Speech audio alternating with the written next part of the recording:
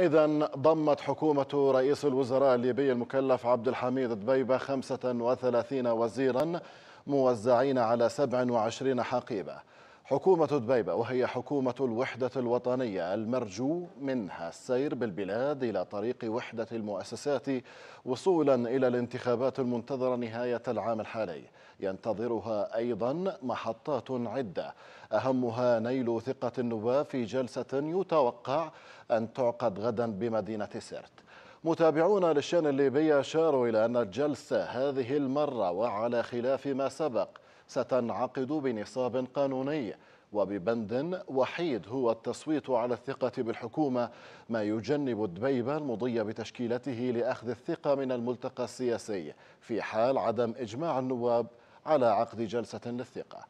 سلطان القيسي يستعرض لنا أبرز ملامح تشكيلة دبيبة ومعايير اختيار وزرائها. إذا سلطان يعني الآن هناك تخوف من قبل البعض لعدم يعني انعقاد جلسة الغد في سرت. التصويت على الحكومة يوم غد لكن بالرغم من ذلك يعني الكل ينتظر التصويت يوم غد تحديدا في سرت.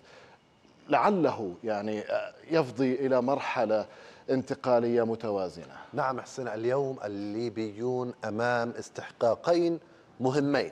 الأول أن تنعقد جلسة البرلمان غدا في سرت والثاني أن تنال حكومة عبد الحميد دبيبة آه، ثقة البرلمان بما يفضي إلى مرحلة انتقالية. كما ذكرت متوازنة نعم. تمكن الليبيين من الذهاب في نهاية المطاف إلى انتخابات ليحظوا بوضع مستقر سياسيا. حكومة دبيبة التي اقترحها تشكلت أو تكونت من 27 وزيرا قد أرسلت وسلمت فعلا إلى الهيئة العليا في البرلمان الليبي وسوف نستعرض أبرز ملامح هذه التشكيلة معا. تفضل.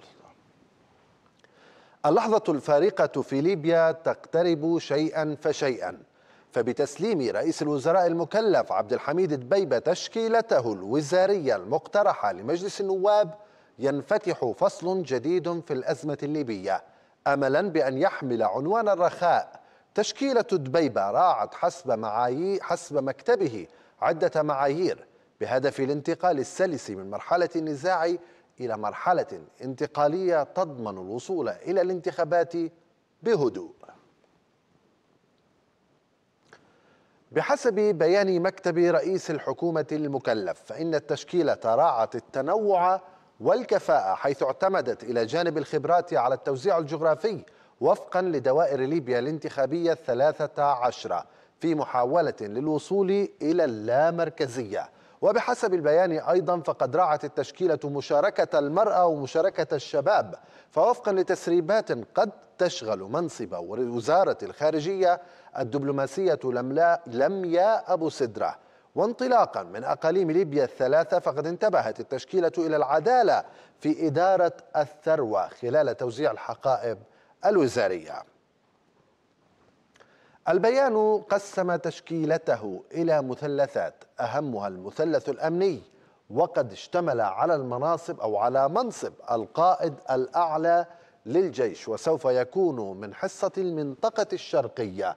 وعلى منصب رئيس أركان الجيش وقد اختيرت لتشغله شخصية من المنطقة الغربية. أما منصب وزير الداخلية فقد ذهب إلى إقليم الجنوب وهو الإقليم الأكثر هدوءا. منذ بداية النزاع الليبي حتى أن هناك من قال إن ولاءه لم يعرف بعد إن كان للشرق أو للغرب. فيما يتعلق بالمثلث الاقتصادي والمالي فقد حصلت المنطقة الشرقية بحسب البيان على وزارة التخطيط والمؤسسة الوطنية للنفط والمصرف المركزي أيضا. فتكون بذلك نالت حصة من إدارة الثروة وأخرى من إدارة المال. في المقابل فقد حصلت المنطقة الغربية على وزارة الاقتصاد والتجارة ووزارة النفط والغاز. وتكون نالت نصيبا من إدارة المال عبر التجارة وأخرى من الثروة عبر النفط. أما المنطقة الجنوبية فوقعت في سلتها وزارة المالية. الرئاسة قسمت الوزارات أيضا على مستوى آخر وهو المثلث السيادي حيث حظيت المنطقة الشرقية بكل من وزارة الخارجية ووزارة التخطيط. أما المنطقة الغربية فاعتبرت حصتها مكافئة للشرقية بحصولها على وزارتي الاقتصاد والعدل فيما اشتملت حصة المنطقة الجنوبية من السيادة على ثلاث وزارات هي وزارة الدفاع ووزارة المالية ووزارة الداخلية. غير أن تسريبات قالت إن دبيب احتفظ بوزارة الدفاع لنفسه بما يعيدها إلى الإقليم الغربي. مصادر مقربة من دبيبة أكدت أنه من بين جمهور الراغبين في أن تكون مدينة سرت مكانا لانعقاد جلسة نيل الثقة من أعضاء مجلس النواب وذلك لتوفر ظروف العمل فيها دون أي ضغط من أي طرف سياسي في البلاد. لكنها أشارت إلى وجود عراقيل تتعلق بعدم إعلان عقيلة صالح رئيس مجلس النواب في طبرق عن موقفه الصريح من اعتماد السرت مقرا للجلسة بيد أنها توقعت موافقته في النهاية لأنه هو من اقترح السرت أصلا. وربطت تأخر رده بمحاولات بعض النواب من خصومه اعتماد بند آخر في الجلسة يتعلق بالنظر في منصب رئاسة المجلس لتؤول إلى إقليم الجنوب الذي لم ينل واحدة من الرئاسات الثلاث وهو ما يضع فتيلا جديدا في الطريق إن لم يفلح الليبيون في تجاهله قد يعيد اشتعال النار في الأجواء والأرجاء. إذا حسين كما ذكرنا في البداية ثمة رهان أيضا على انعقاد الجلسة غدا إن كانت سوف تعقد أم لا وإن كان يعني انعقادها سيؤدي إلى التصويت على هذه الحكومة ونيلها للثقة أم سنذهب إلى معركة نيابية جديدة متعلقة بالبند الذي قد يطرحه نواب يدفعون باتجاه تعيين رئيس جديد للبرلمان يكون من المنطقة الجنوبية فيكون الرئيس من المنطقة الشرقية ورئيس الحكومة من المنطقة الغربية ورئيس مجلس النواب من المنطقة الجنوبية كما يرون. إذا سلطان ننتظر يعني انعقاد الجلسة يوم غد بنصاب مكتمل إن شاء الله. إذا سلطان قيسي شكرا جزيلا لك على هذه المعلومات والإيضاحات. مشاهدينا قبل أن نبدأ النقاش أرحب بضيفي معنا من طرابلس الكاتب والباحث السياسي السيد محمود إسماعيل ومعنا أيضا من لندن رئيس حزب التغيير في ليبيا الدكتور جمعة القماطي أهلا بكم. أبدأ مع ضيفي من طرابلس السيد محمود. سيد محمود يعني ما فرص انعقاد يعني جلسة النواب غدا بعد تأجيلات عدة؟ في تقديري إن مع أن مجلس النواب حقيقة شبه ميت سريريا إلا أنه يمكن القول بأن الجلسة ستكون هناك جلسة. لكن هل ستكون النتائج حسب المطلوب أم لا؟ أعتقد بأن الجسم يمر بإشكاليات كبرى متمثلة في تشظي قديم وحديث واستقبال ومستقبل إن بقى. ولكن هناك تجربة خطيرة متمثلة بأن مجلس النواب عود الليبيين على عدم القدرة على الوفاء باستحقاقاته وفشله في الأولى وعدم نجاحه في الثانية. هناك 42 ربما قد وصلوا نعم أستاذ محمود أنا أعتذر. نعم أستاذ محمود أنا لا نعم، أسمعك نعم. جيدا. نعم. يبدو أن صوت التلفاز عندك نعم. مرتفع. نعم. إذا تفضلت يعني قم صوت التلفاز نعم. نعم نعم هل أفضل حاليا؟ نعم. هل الصوت أفضل حاليا؟ تفضل أكمل. نعم في تقديري أن هناك إشكال متمثل في ان جسم البرلمان يفترض أن يقوم بواجباته في اتجاه الاستحقاق والمتمثل في اجتماعه لكن لا أعتقد بأن العدد سيكون موجودا. الواقع ألو... عفوا عفوا عفوا. عفوا نعم. يا أستاذ محمود يعني أنتقل إلى ضيفي الدكتور جمعة القماطي إلى حين تصويب الخلل مع السيد محمود. يعني دكتور جمعة دكتور جمعة كيف تقرأ تشكيلة الحكومة يعني المعلن عنها من قبل الدبيبة؟ في الحقيقة أستاذ حسين أولا تحية لك ولضيفك ولكل مشاهدي المملكة الكرام. في الحقيقة أننا لم نسمع رسميا بالتشكيلة الرئيسية أو التشكيلة الرسمية إلى الآن. ما شاهدناه هو تسريبات عبر وسائل التواصل الاجتماعي لقائمة تتغير من يوم إلى آخر على مدى الأيام الماضية وبالتالي من الصعب الإقرار بأن هذه هي التشكيلة الحكومية الحقيقية. قد يفاجئنا السيد دبيبة غدا في حالة تم انعقاد جلسة لمجلس النواب وفي حالة طلب منه أن يعرض حكومته عليهم لغرض مناقشتها ومنحها الثقة. قد يفاجئنا بأسماء أخرى مختلفة جزئيا أو, أو, أو على الأقل يعني إن لم يكن كليا فجزئيا. فمن الصعب الإقرار بأن هذه هي القائمة النهائية وإن كان وإن صحت أن هذه القائمة التي تسربت وتتناولها أطراف عدة ووسائل التواصل الاجتماعي المختلفة إن نعم. صحت هذه القائمة فهناك تحفظات كبيرة عليها هناك من عبر عن استيائهم بمستوى الكفاءة آه، لدى آه، هؤلاء الأشخاص هؤلاء الأسماء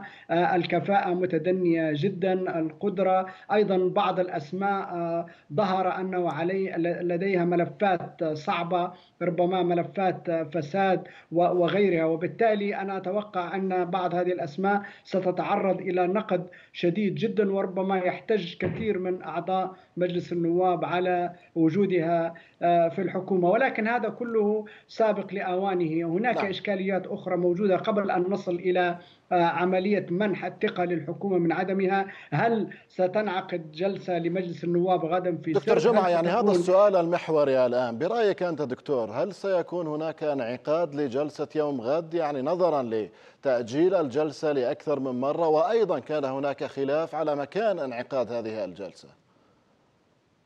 نعم ما زالت هناك شكوك يعني آه، هناك عدة جلسات تشاورية تمت آه، في في طرابلس في مدينة صبراتة في غرب ليبيا بالقرب من الحدود التونسية آه، كانت قبل ذلك مشاورات في المغرب كان الغالبية العظمى يرون أنه لابد من عقد جلسة بعيدا عن مدينة طبرق حيث يتواجد عقيلة صالح وحتى مدينة سرت هناك أصوات كثيرة عبرت عن رفضها للاجتماع في مدينة سرت على اعتبار أنها محتلة من قبل مرتزقة أجانب وبالدرجة الأولى مرتزقة الفاغنر الروس ومرتزقة الجنجويد من السودان الذين يقاتلون مع حفتر في السنوات الماضية. وبالتالي اعتبر بعض النواب وأنا تحدثت معهم بشكل شخصي اعتبروا أن الاجتماع في مدينة وهي مسيطر عليها من قوات أجنبية يمس السيادة الليبية على اعتبار أن هذه أن هذا مجلس النواب هو سلطة سيادية سلطة تشريعية منتخبة نعم من الشعب. وبالتالي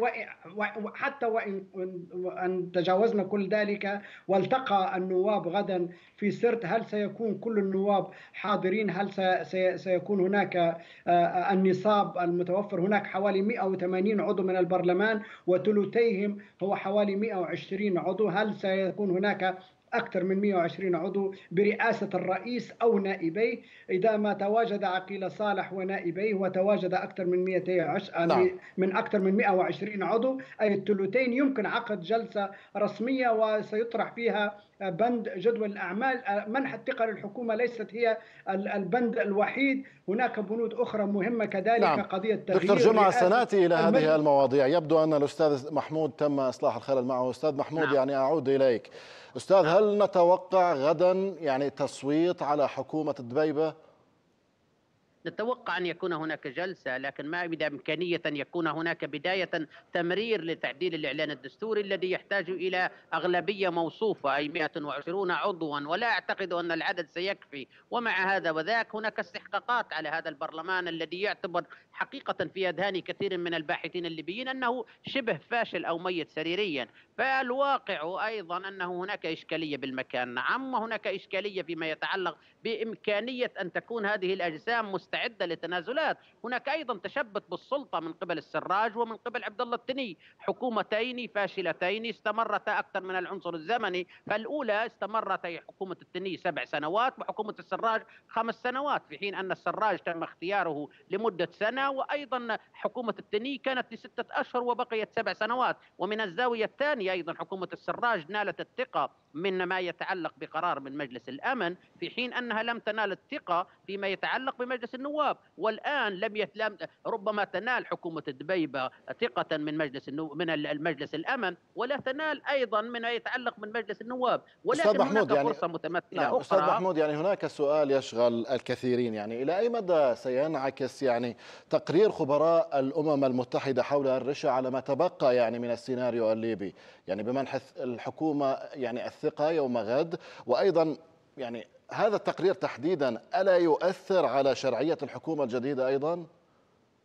في تقديري يجب أن يكون هناك خضوع الجميع لما يتعلق بالقواعد القانونية والية التحقيق اي ان النائب العام والقضاء الليبي عليه أن يطلب نصا من التقرير وأن يخضع الجميع إذا قاموا بأعمال تمثل أيضا انتهاكا لما يتعلق بالقواعد القانونية سواء ارتكبت الجرائم في داخل ليبيا أو جزءا منها في ليبيا أو جزءا من مكوناتها في ليبيا، اذا هذا أمور خاصة بما يتعلق بالشق القضائي أو ما يتعلق بالنيابة وهو سلطة مستقلة عن السلطة التشريعية وعن السلطة التنفيذية وهو أمر عقلاني لا غبار عليه. لكن من الزاوية الثانية علينا المضي أيضا في العملية السياسية من أجل الولوج إلى ما يتعلق بتحديد الإجراءات. نحن نتكلم على حكومتين عدد وزاراتهما يزيد على خمسين. أي عندما يتم تنقيصهما هما الاثنين إلى 27 أعتقد أنه جزء من العملية الجراحية الصعبة والصعبة جدا. هناك تلكؤ في إمكانية أن تكون هذه الحكومات قادرة على التنازل على السلطة وتمسك من شخوصها بإمكانية الاستمرار وعدم الولاد حل أيضا. هؤلاء المستمرون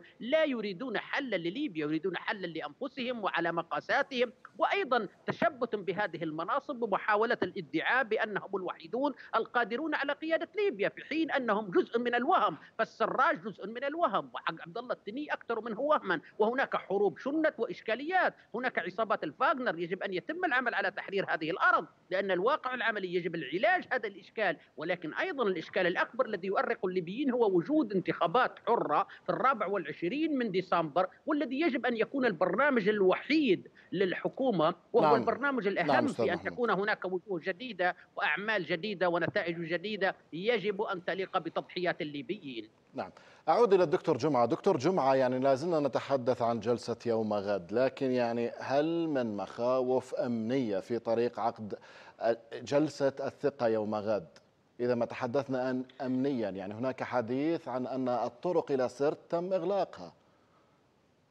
نعم هناك مخاوف أمنية حقيقية. كان يفترض أن يتم فتح الطريق الساحلي الطريق الرئيسي الذي يربط شرق ليبيا بغربها. ولكن لم يتم ذلك وتعثر الاتفاق لأن آه، الأطراف لم تفي بوعودها آه، للقوات العسكرية المتواجدة والتي ترى أن لها استحقاقات معينة ولها شروط معينة. تريد ضمانات أنه لن ترجع الأمور إلى الحرب مرة أخرى لن تقوم آه، لم يقوم لن يقوم حفتر والمرتزقه الذين معه بالهجوم مرة أخرى على مناطق آه، في غرب سرت مثل مصراته مثل طرابلس غيرها ولم تعطى هذه الضمانات من المجتمع الدولي أو من الأمم المتحدة أو من الأطراف المعنية نفسها مثل حفتر وغيره. هناك وقف لإطلاق النار ولكنه وقف هش لإطلاق النار. صحيح لم يتم تجاوزه في الأسابيع الماضية. اذا الوضع الأمني غير غير غير مطمئن غير مثالي على الإطلاق. الطريق الساحلي غير مفتوح. مطار سرت لا نعرف أي في, في أي حالة هو حتى يستقبل أعداد كبيرة من النواب ومن الشخصيات وأكبر مشكلة هي وجود قوات أجنبية داخل مدينة سرت وهناك لكن كثير دكتور من جمعة يعني يعني لجنة اللجنة العسكرية يعني خمسة زائد خمسة ألم تتعهد بالتأمين؟ نعم تعهدت بالتأمين لما ربما لمكان الاجتماع ولكن على بعد ربما مئات الأمتار أو بضع كيلومترات هناك قوات أجنبية تتواجد. في داخل المدينة هناك عشرات من النواب لديهم هاجس كبير حول ذلك الأمر. الأمر هو الأمر سيادي بامتياز. نحن في بلدنا في على أرضنا في مدينة من المدن الليبية وهذا مجلس النواب سلطة تشريعية سيادية منتخبة من الشعب الليبي. كيف يمكن أن تجتمع تحت أسلحة أجنبية وقوات أجنبية على بعد مئات الأمتار أو بضع كيلومترات؟ هذا أمر حساس ومهم جدا جدا قد يربك المشهد قد يمنع الاجتماع غدا نعم. أو قد يفسد الاجتماع نعم. غدا لذلك كان كان مطروح أن يكون الاجتماع في مدينة غدامس بالقرب من الحدود الجزائرية أو في مدينة أخرى بعيدة عن تواجد القوات الأجنبية ولكن غير الهاجس الأمني هناك إشكاليات أخرى سياسية كذلك اجتماع مجلس الأم... مجلس النواب غدا إذا ما التأم بنصاب كامل الثلثين أكثر من 120 عضو بجلسة صحيحة يترأسها الرئيس أو نائبيه هناك نعم. أيضا استحقاقات أخرى لابد من الموافقة عليها. اتفاق جنيف نفسه لابد أن يتم الموافقة عليه من مجلس النواب حتى يصبح الأمر دستوري وإلا منح الثقة للحكومة وحدها دون الموافقة على الاتفاق السياسي الذي جلب هذه الحكومة قد يثير إشكاليات وصلت الفكرة دكتور جمعة. نعم. وقانونية. نعم أنا أعتذر دكتور لكن لم يبقى لي الكثير من الوقت يعني أسأل بسؤال وباختصار الأستاذ محمود. أستاذ محمود يعني لازلنا نتحدث عن الهواجس الأمنية. يعني أنت استمعت إلى الدكتور جمعة. هل هناك تخوف بالفعل من جلسة يوم غد أن يكون هناك لربما هجوم؟ لا سامح الله؟ ربما ولكن الأمر حقيقة لابد من الإيضاح. لا شك أن لجنة خمسة زائد خمسة لا تملك قدرات أمنية وليست لديها عسكريون تابعون لها ومجرد وعود بإمكانية أن تكون مؤمنة ومع هذا وذاك كان من المفترض أن يختار مجلس النواب مدينة أخرى ولكن تشبتهم وتضحية الليبيين يجب أن يكون هناك وضوح بأن هناك إشكاليات لا شك أمنية لكن هذا لا يمنع في أن يكون هناك الاستحقاق يجب أن ينفذ في سرد أو في غير سرد لكن الواقع أن المشكلة ليست في المكان المشكلة في الأفراد والأشخاص والمنتمين للبرلمان. هؤلاء وصلت الفكرة أستاذ محمود. نعم أنا أعتذر لكن الوقت المخصص لهذا الملف قد انتهى. إذا ضيفي من طرابلس الكاتب والباحث السياسي الأستاذ محمود إسماعيل. شكرا جزيلا لك والشكر موصول لضيفي أيضا من لندن. رئيس حزب التغيير في ليبيا الدكتور جمعة القماطي شكرا جزيلا لكم.